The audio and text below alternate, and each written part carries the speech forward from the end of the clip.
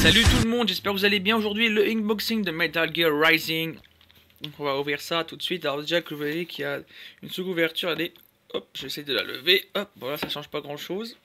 Vous voyez que c'est super joli. Hein. Très très beau boîtier. Et derrière, waouh. On le dit, bobo, c'est magnifique. Alors on va retrouver dedans, principalement déjà le jeu qui est derrière.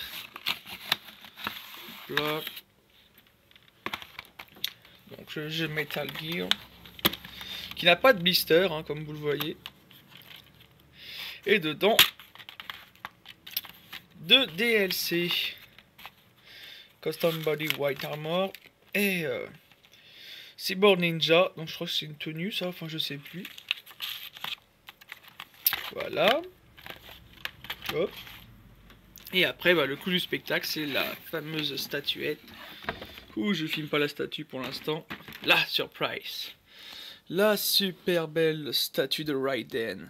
c'est magnifique. C'est super avec tous les objets que vous voyez dans l'intérieur. Très très beau.